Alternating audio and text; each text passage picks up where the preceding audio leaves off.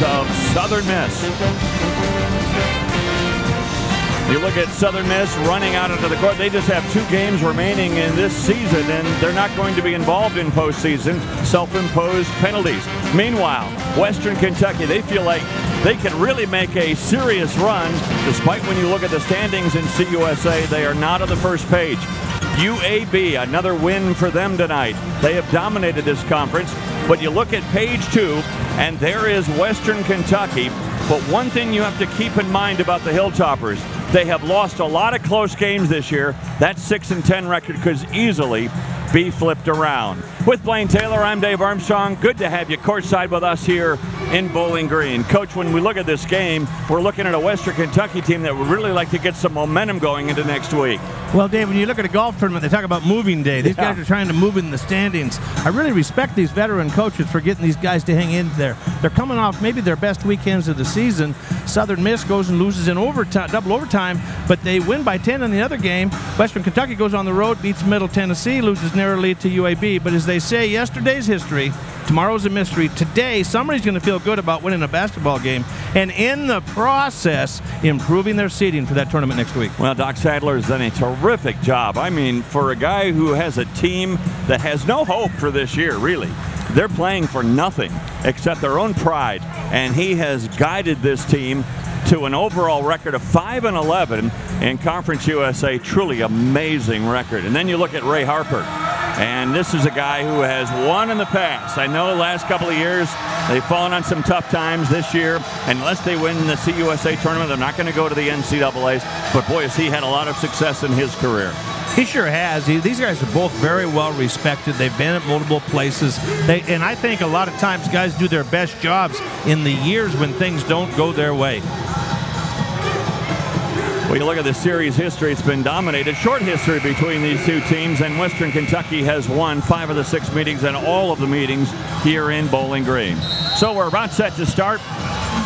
Western Kentucky wearing their home white uniforms, and it's Southern Miss in their road black. No problem telling the jerseys apart. What a contrast. Justin Johnson gives it up. Both teams have really had to juggle their starting lineups as the year has gone on. Cosby works into the paint, no. But there's a guy doing what he does best. Justin Johnson, one of the most prolific rebounders and scorers in this conference. Top 10 basically in both categories and has just gotten better and better and he's just a sophomore. I really like his game a lot. He's been in double figures in all but five games this year.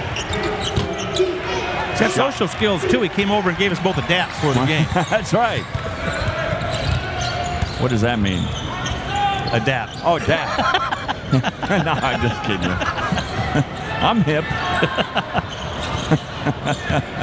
we'll cool you up. All right. Please help me out there.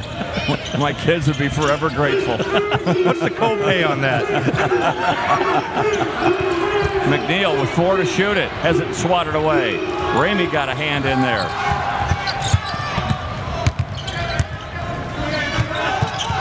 Style-wise, Western Kentucky scores a lot more points per game. I'm not sure if Southern Miss can score enough to beat them, but that's why you play the game.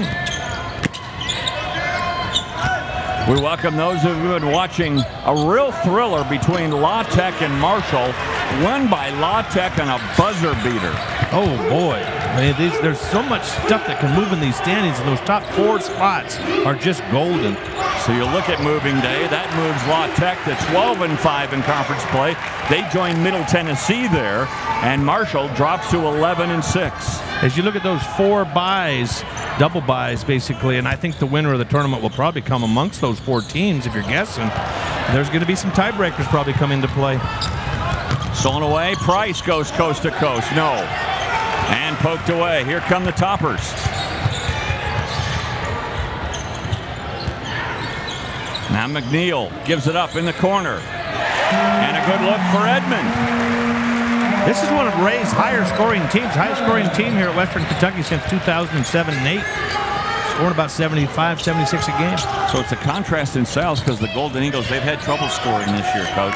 Well, they, they're down at the bottom of the, the offensive stuff, but they've been awfully salty defensively, and that's why they've been in so many games. And a high-low action from Blevins to Watts. That didn't work. Another turnover for the Golden Eagles. One of the things you notice with Southern Miss is they're trying to do the right stuff on defense. They're Mm. trying to share the ball. They're trying to space the court. They're, they're, they're trying to compete to the best of their ability.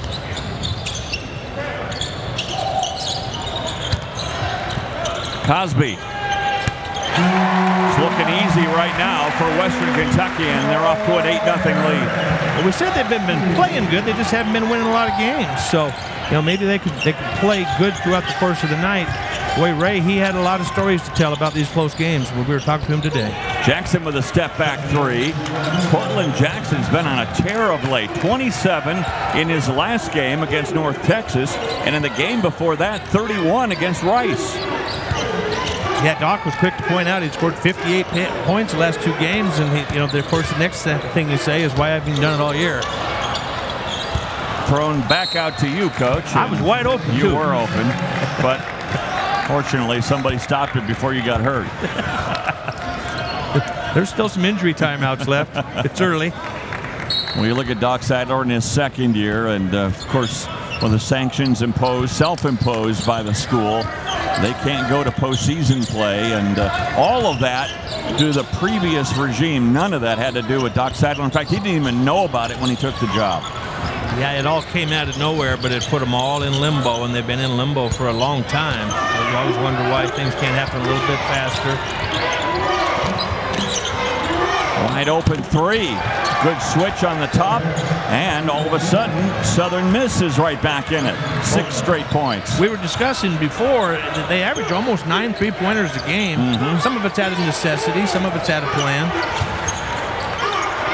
Fight for the ball, and last touch by Southern Miss. So we got a timeout on the court. 15:45 left to go in the first half. Blevins and company making a nice comeback. Six straight points by the Golden Eagles, and we've got a two-point game.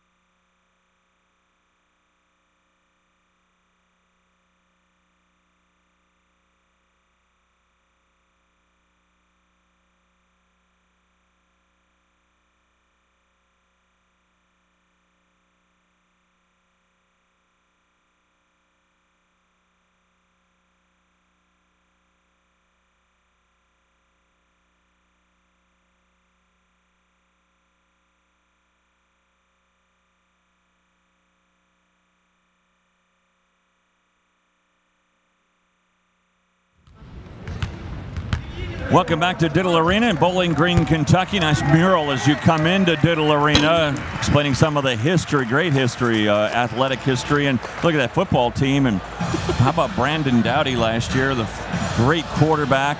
Jeff Brohm just was handed a new extension as their football coach, one of the great young coaches in college football today. And uh, expect the Hilltoppers to be great in college football again in the years to come. They've done a lot of really neat things with their facilities around here. I was Yeah. going around campus yesterday and today, and uh, boy, it's a it's a polished product around here Now nowadays. you're involved in the history here, aren't you? That's true. I, my my 90 year old mom t- told me that I had ties to this school, and it turns out that uh, the Cherry family. I'm a direct uh, relative of the Cherry family. Uh, my William Taylor's sister married Cherry, and they started this school. So I should get a cut of tuition probably. Yeah, I think you should. You want to come back to school here? Well, that I know I can get that GED sooner or later.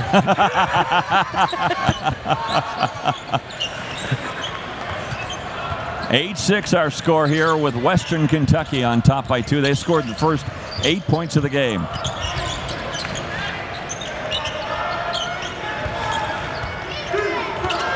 If you look at it statistically, the rebound margin five to nothing, but the turnovers have offset that three to nothing. So you know, there's kind of a reason that the score is pretty close. Everybody's kind of according to character right now. Another three-point attempt for Khari Price. By the way, you look at Southern Miss so far in this game, five of their seven shots they've attempted are from beyond the arc. Ooh, a little dipsy-do by Edmond. Julius Erving there. Uh, yeah, and if you didn't know any better, you'd think Western Kentucky is just daring them to shoot because most of them are pretty open.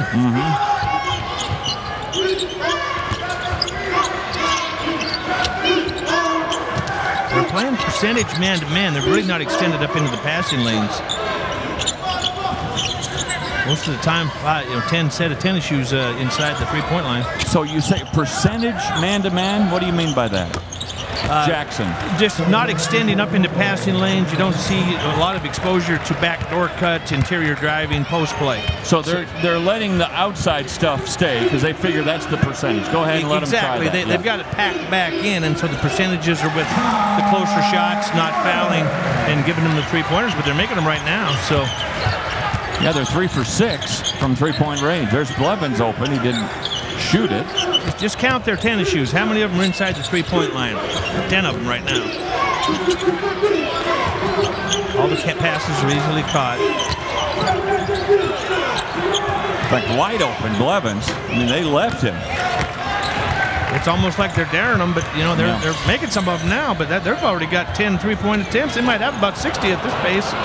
McNeil, air ball. He's only a 29% three-point shooter, and the guy that just shot it for Southern Miss, Blevins, just a 22%. So that's why when Ray Harper, you're talking about percentages, he's like, all right, I'm watching them.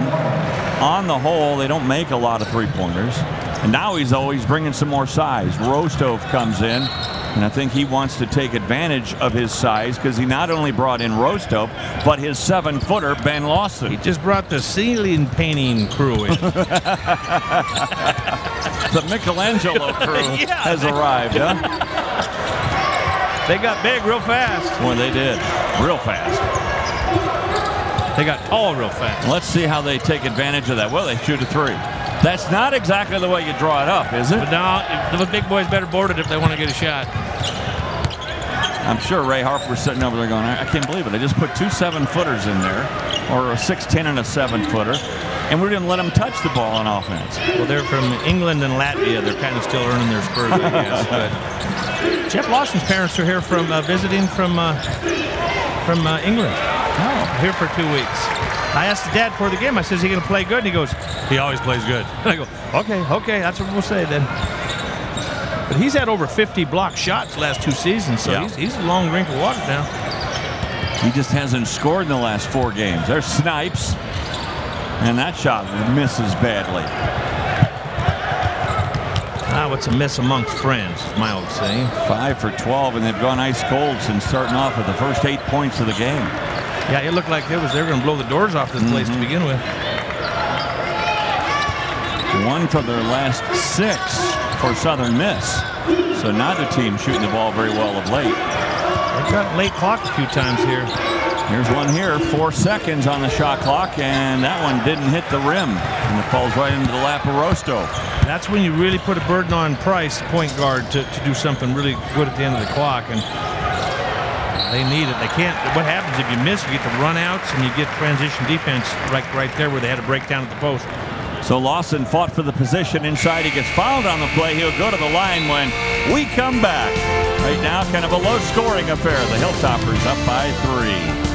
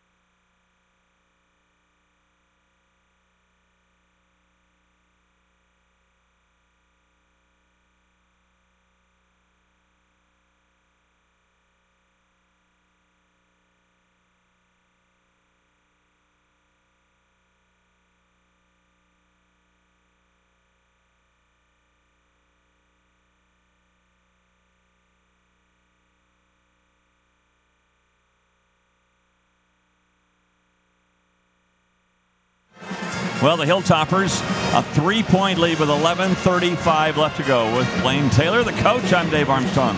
Glad to have you courtside with us. We've talked a lot about the Hilltoppers and the tough luck that they have run into this year. When you look at the last five Conference USA losses, look at this. Two points, four points, three points, three points, and then at UAB, a four-point loss. Well, you always think you'd win about half of them, and they have they've won about 20% of them, and so it's it's been really difficult. It's a lot of long bus rides, a lot of you know four or five days between games. Sometimes kind of keep the guys up, and Ray has kept them up. The description you use to describe someone who does what I do for a living is play-by-play. If you want a play-by-play description of those five losses, just ask Coach Harper. He Yeah. knows. You better call in sick for work that day, though. He knows exactly what happened and why it happened and what went wrong. He, he does, Dave, and he can tell you the, the name of the player, how much time is on the clock. Yep. And, and, and it's not like we lost close. They were ahead in many of those games Exactly. late. So that's why I say when you look at their 6 and 10 conference mark, they could easily be in the top four, no question about it. That's what I think makes them dangerous next week in Birmingham. They could really have a say in who wins it because they could knock somebody out that has a chance to. Rostov swings it. Hunter, kind of an unusual little kick. Lawson didn't have his footing under him and had the rebound taken away by a 6-2 player, Edwards. A lot of guys around it. No production, though. Western Kentucky 0 for their last five from the field. If you're Southern Miss, you're shooting 27%. You're probably feeling pretty good that if with another bucket, you're right there. Exactly. You're only down four, shooting 27% on the road. Campbell, nope. And the rebound by Edmond. Start of the game, these two teams were four for six from the three-point line. They're now five for 16. So they've gone ice cold. They've missed their last nine, I think, in a row.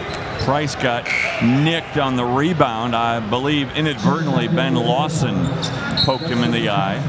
So Price is going to come out, I believe. He'd been banged around a little bit like WWF. He'd hit the deck down here on the drive, and then he gets uh, smacked in the noggin there. So uh, uh, he just got tweaked. Yeah, but you know, if you get if you get flesh, salty flesh, sweaty flesh on your eye, it really burns. I'll take your word for it. We don't want a demonstration. No.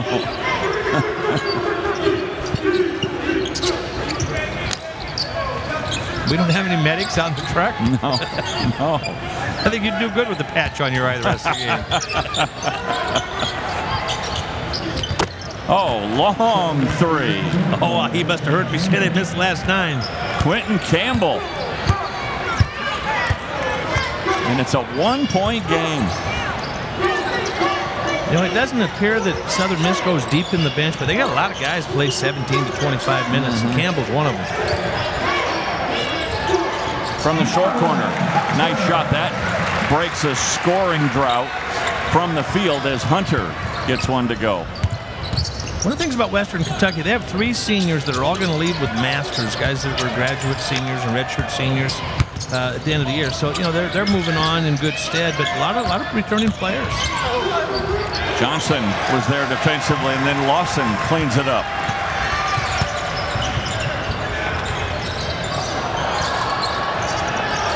See how quickly they're doubling the post. Uh, it- it- the size is just getting swallowed up with dark jerseys. Nifty move by Lawson. His parents flew halfway around the world. He had to get a bucket. And then a steal on the inbounds play. Heads up play by Marlon Hunter. Pretty big sequence in a, in a one basket game to all of a sudden get your big guy that hasn't scored in a number of games, get the ball in the hole, crowd kind of gets charged up, steal it to the line. I think the uh, Lawson dad's going to be around for a while, right? Yeah, he's uh, spending a couple weeks here. Him and his mom, they're going to go out to San Diego after this. They- heard tell that was a nice spot. Hopefully they'll, uh, yeah, hopefully they'll go to Birmingham though for the tournament next week. Yeah, I think they're going there and then to San Diego. There you go. Coach Harper wants him to go the way Lawson's playing. Yeah, that's right. They might have to move here. Well, all of a sudden a bigger lead now for Western Kentucky thanks to that little flurry. Seven points the advantage. Southern Miss is pretty methodical, has pretty good court spacing. But they're getting late clock a lot. And, and they're okay with being late clock, mm -hmm. but you got to be productive late clock. Right. And I'm not so sure that's not part of Ray Harper's strategy. Is sometimes you go out and pressure guys, they're not going to shoot it anyway. So just lay back and wait for them to come to you, and that's kind of what they're doing. Well, you look at the overall shooting in this game, and they haven't made a two-pointer yet. Of course, they've only taken four of those and 11 three-pointers. Well, if you make a bunch of threes, you tell your coach those two-pointers are overrated. But when you're not making any points, you need some two-pointers. Good hands by Hunter. Johnson. Nope. Foul came first. No shot. He drew a crowd like flies on garbage. Yeah, he does. He's shooting 61% from the field. You know, when I was looking at those stats, Dave, I had to double take on that one. Yeah. Like 60? That's not that's not easy to do. It's second best in Conference USA. Well, and sometimes you see it with the guy that shoots like twice a game, four times a game. Right. But your leading scorer, leading rebounder, plays 30 some a game, minutes a game. That's really impressive. That catch was impressive at midcourt. It looked like, yeah, it was the back of the end zone. Looked like to me. NFL. Coach Brohm was like, hmm, it's a zone, zone, and switching, playing real tight. Three guys around him, and he still scored. That wasn't an easy shot by any stretch, folks. Three guys, and I think one of them was, was laying some fingerprints on his arm. Eight of the 21 points now for the Hilltoppers in the paint. Southern Miss doesn't have any points in the paint. Well, that's travel. He teased everybody and the official. Yeah.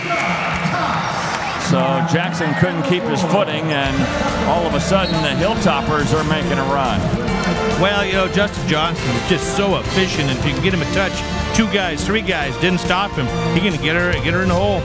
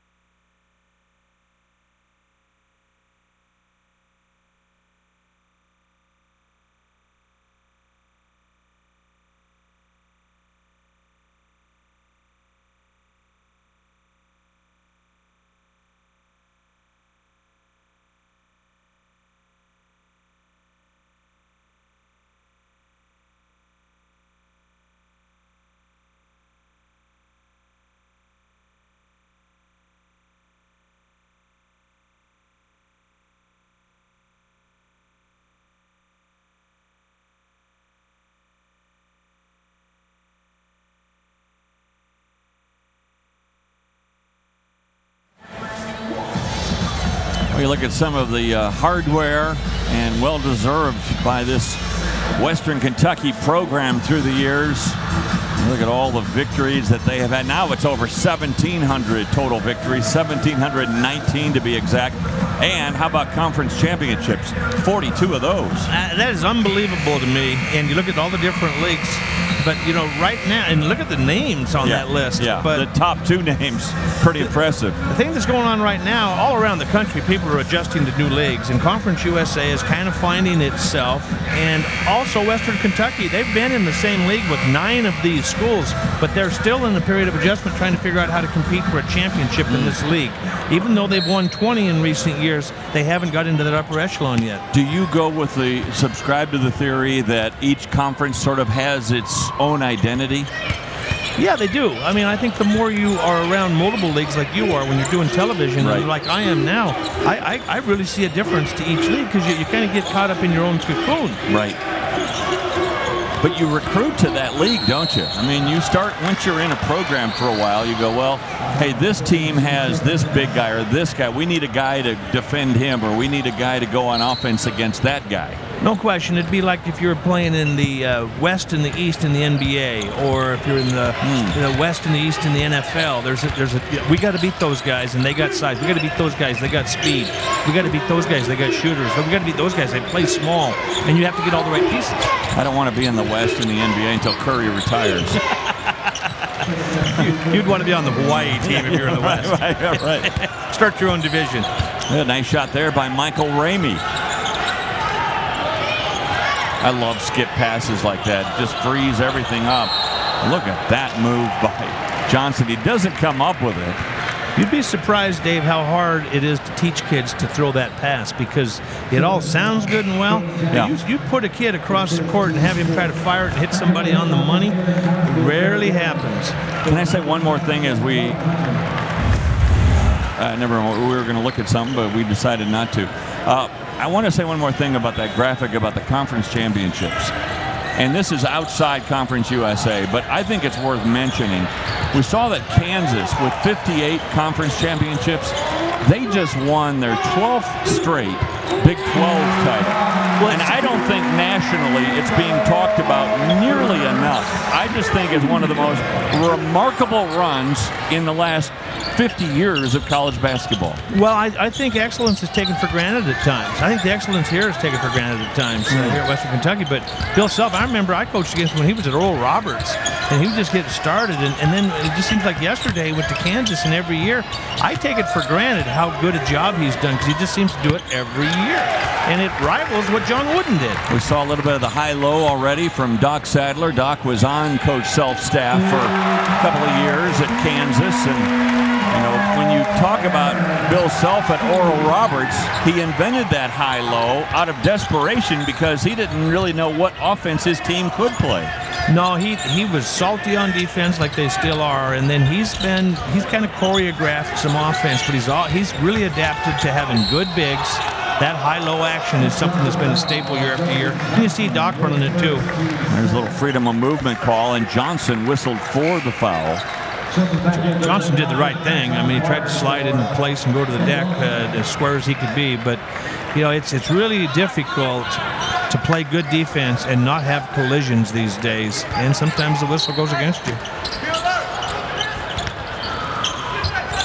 Inbounds play well scouted. Tim Rose got it. He's trying to get closer. He did, but not close enough. Got his body close. He just didn't get the ball close.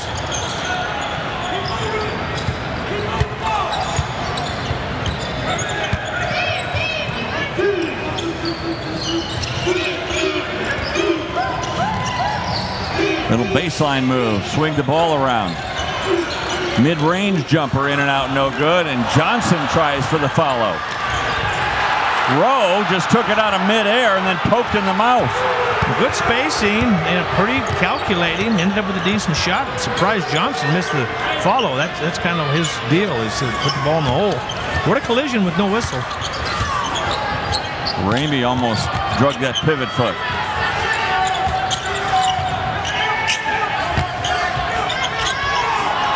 It may be a shortened clock, Dave, 30 seconds, but they're using most of it. Mm-hmm. Raheem Watts able to get the Golden Eagles back within 10. I think what you're finding is Southern Miss is playing their style. It's just a matter of whether they score or not. I, I said at the top of the show, I think 72 is the number. I think if, if uh, Western Kentucky gets 72, they're going to be hard to beat.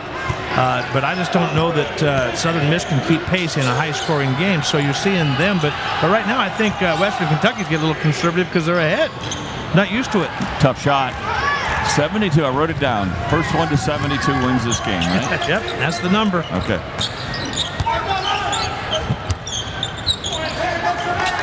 I might be right on, too. You're buying dinner if I'm right on. I think it's going to be below that. Our drive-up window still open? I've got coupons. Here's Ramey. That's a two. All right. It's a long two. And a timeout taken with 3.31 remaining. We're going to take a timeout with them. So Ramey's come off that bench for a couple of buckets. And we've got an eight-point game.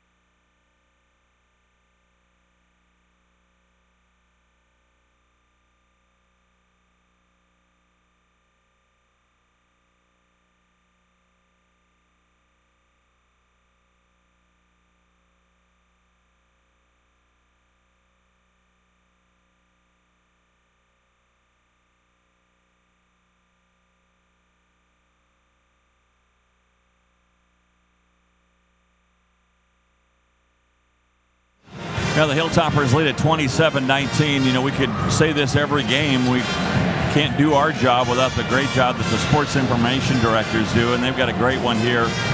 And Michael Schroeder of Western Kentucky, and uh, the reason we're showing him is he is actually leaving at the end of this season. He has a new job with the Memphis Redbirds in the Cardinals system. He'll be in their AAA ball club in Memphis. So congratulations, first of all, to Michael. And again, our thanks to him and uh, the entire staff here at Western Kentucky for the great job that they do in helping us do our job. They sure do. It really has opened my eyes all they do. And he told me that Tony La Russa and you were the ones that got him that job. Is that right? well, you just could stop with Tony La Russa. well, I didn't move past him right to you. I wanted to kind of warm you up to the idea. okay. Edmond will be going to the line. Uh, you look at the Hilltoppers, uh, Edmond going to the line, the uh, seven assists on 10 makes. That's so good. they've been fairly efficient. They're only shooting 43%. But the interesting thing is on the other end, they're holding Southern Miss, or Southern Miss is holding Southern Miss to 35%, and they have not shot a free throw. So the fact that they've shot two-thirds of their shots from the three-point line, they haven't got into you know percentage range, and they haven't got any freebies at the free throw line. Blevins checks back in for the Golden Eagles. And the two free throws by Fredman Edmond. And so far, Western Kentucky is five for six at the line, and Southern Miss hasn't gone there yet. Seven different guys have scored, so they're getting a lot of different contribution. Another three-point attempt goes awry. Five for 13 now. Well, Campbell's hit one, so it's not out of the realm of possibilities, but they're living and dying on the line. They're going to have to make some. Oh, good pass.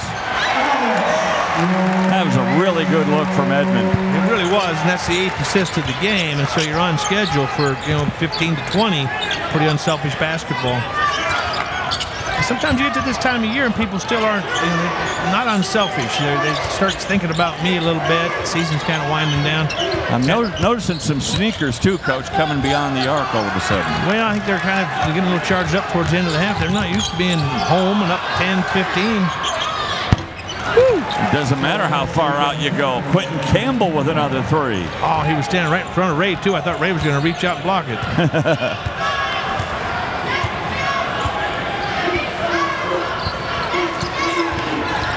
So already six three-pointers.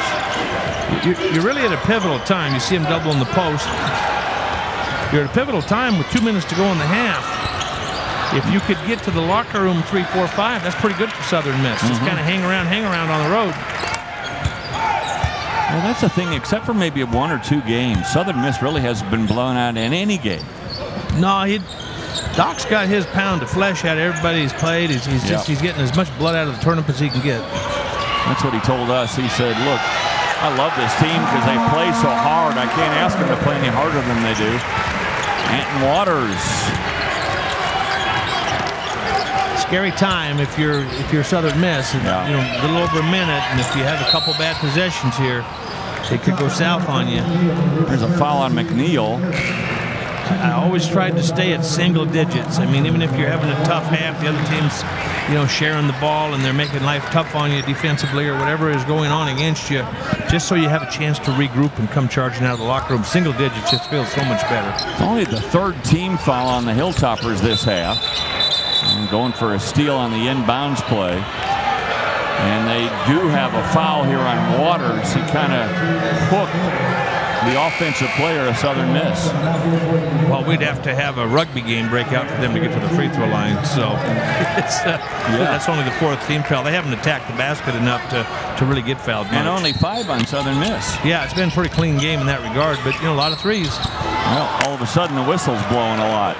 Well, they get to the free throw line for the first time in the game. I actually looked down a minute ago and I went, could they possibly go the whole half without shooting a free throw? Mm. That's what Doc was wondering. Sometimes you'll say that to an official, just kind of whimsically, to you know, we don't we don't practice with free throws for any reason. Don't worry about it if calling any fouls.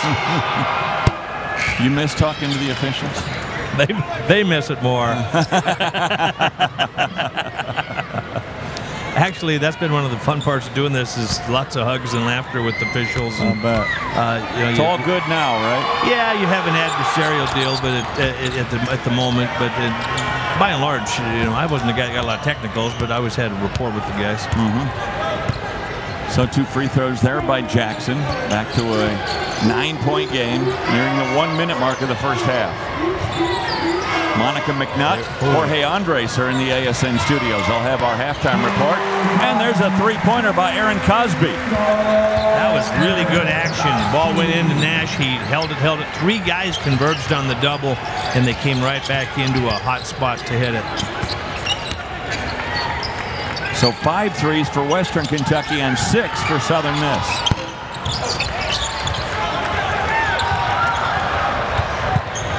Boy, would have liked to have that one. Big possession here to maybe end it. There's a seven-second differential on the shot clock, so will they they burn all the time and give them a short clock? The difference between the first half and the second half is the clock will run out. The clock doesn't start.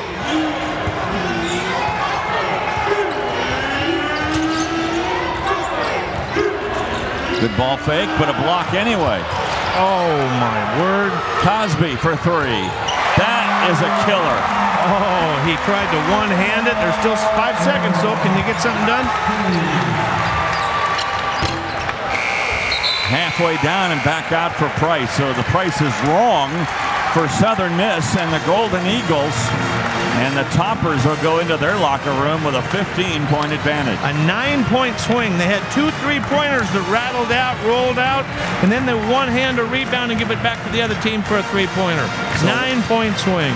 One team running into their locker room, excited. The other one dragging into their locker room. 39-24, our halftime score as Cosby and company have a 15-point lead. Monica McNutt and Jorge Andres in the ASN studio after the break.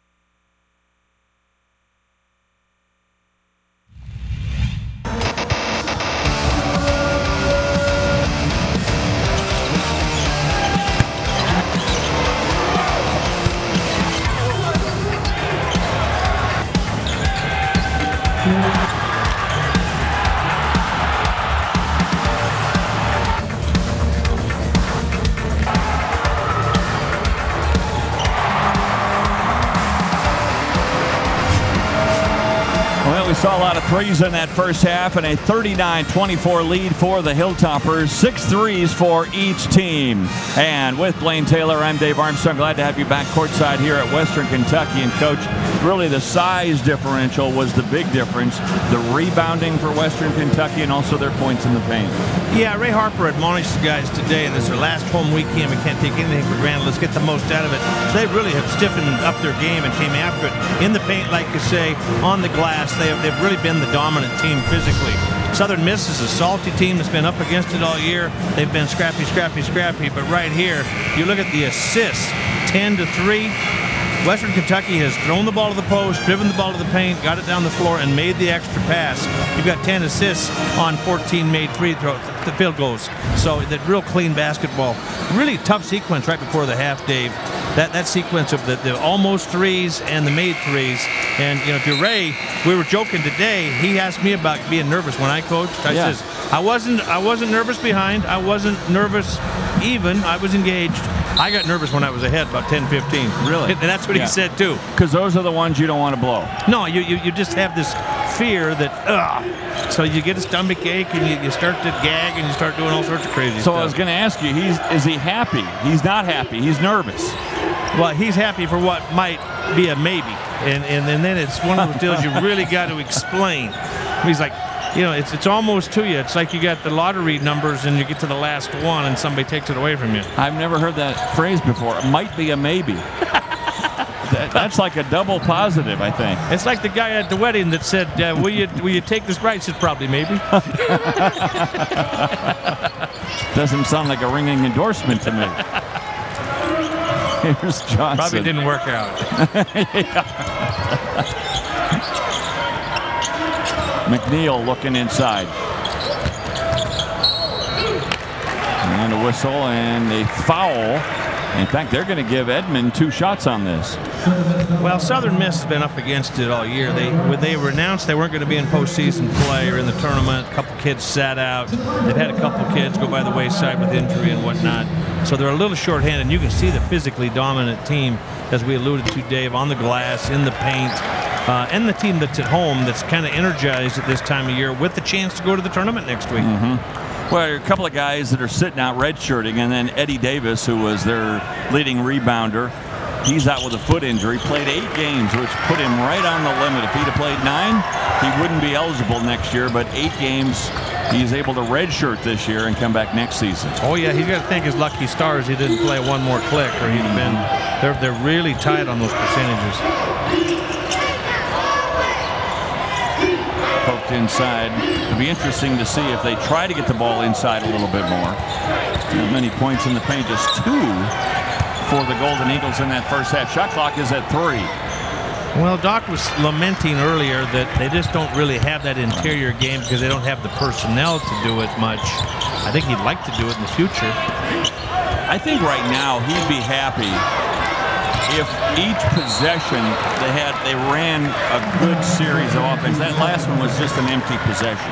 Yeah, if, if they could share the ball, get people movement, get, and Right. get people movement to where you have some offensive rebounds. I, you know, they don't have any offensive rebounds to speak of. You- One offensive rebound, it ain't going to get you much. And you pointed out just three assists. That tells me, and again I could be wrong, but it tells me just as an outside observer that that's not sharing the ball very well, and it's really not running offense. It's a lot of guys doing an individual thing. Well, a lot of stop start. You know, the, the good intentions of moving, driving, passing, but a lot of stop start that's ending up without bu- without buckets. Yeah. And if you don't make a basket, you're not going to have any assists. So, uh, and they're living and dying on three pointers. Uh, Two thirds of their shots from three, and and that's just what is. I mean, Doc can't change what is. What is? He doesn't have an interior game. What is? He's a little short-handed. Right. And so when they are at their best, they're, they're just carving out baskets, and you know they only average in the low 60s per game. And uh, it- remember I told you the number 72? I didn't know whether they could keep pace with Western Kentucky just just in terms of pure points scored, and that's been the case.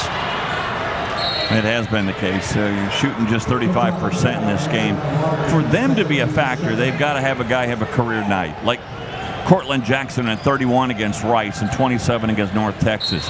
You got to have somebody on your team that's just having one of those nights where they can't miss, and they don't have one of those guys tonight. Well, Doc allowed. He says, you know, we don't always run great offense when he scores all those points. We don't. He doesn't always shoot good shots, but we have a chance to win when he does that.